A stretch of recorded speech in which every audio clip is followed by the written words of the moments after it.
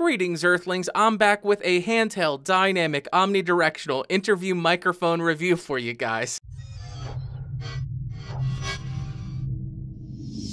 So today I'm reviewing this guy, the Electro Voice EV635A, also known as the microphone that my father used to use when he needed a microphone. If you do want to pick up this microphone, it will set you back around 140 bucks. I'll throw some links down below. And for this review, the mic's connected to the 2i2 second gen with the input gain set at around 80%. I won't do any compression or any EQ, but I will boost it in post, so check the doobly-doo to find out what that was. Now let's talk about what comes in the box.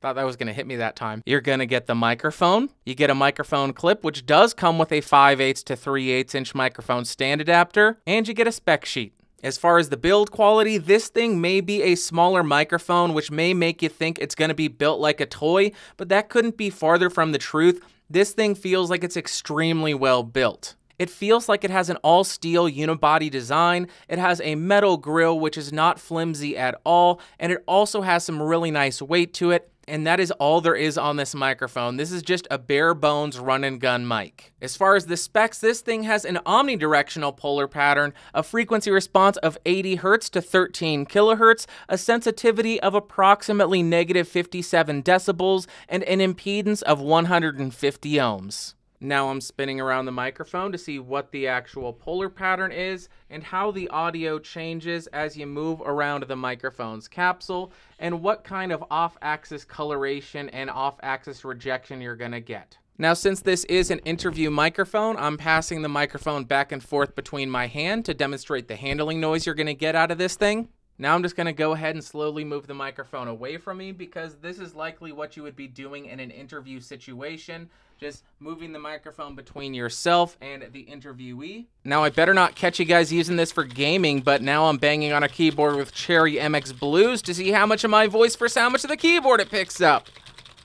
Now I'm right on top of the microphone, although this is an omnidirectional pattern, so you won't have any proximity effect. Now I'm one foot away from the microphone, two feet away from the microphone, and about four feet away from the microphone.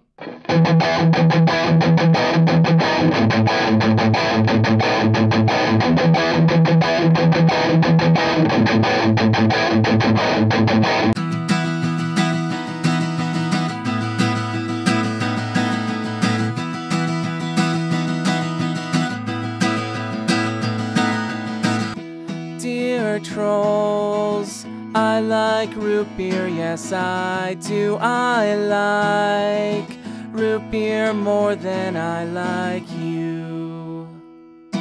So I think that this mic does exactly what it was designed to do really well, which is why it's been in production for such a long time. In terms of pros, the build quality of this thing is outstanding. The 5 to 10 kilohertz boost will help your voice cut through any background noise, and the high pass on this thing will help reject any kind of low rumble in the background. But then in terms of cons, it does have a relatively low sensitivity, meaning you'll have to drive your preamps pretty hard. And also, it's not the best at background noise rejection because it is an omnidirectional microphone. So is this microphone for everyone? No. If you're a musician, I would say look somewhere else. I thought it sounded a bit too honky on the electric guitar, although on the acoustic, I did rather enjoy the tone of this thing. If you're a podcaster or a gamer, I'd also say look somewhere else. You could find a microphone that has a much fuller low end and does a better job at background noise rejection. But if you're going to be out running and gunning, interviewing people in the field, or if you're announcing in an environment that has a lot of low frequency rumble, I think this microphone could work really well for you.